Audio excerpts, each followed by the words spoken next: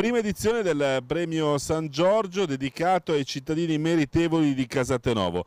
Quali sono quest'anno i casatesi che avete deciso di premiare? La prima edizione del premio San Giorgio, come giustamente è stato detto, è stata istituita dall'auditorium di Casatenovo per premiare i cittadini casatesi o perlomeno che a Casatenovo hanno lavorato e si sono affermati,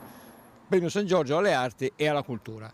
Allora, quest'anno è stato deciso in questa prima edizione di dare addirittura due premi Due premi che saranno due sculture che sono in corso di eh, lavorazione in questi giorni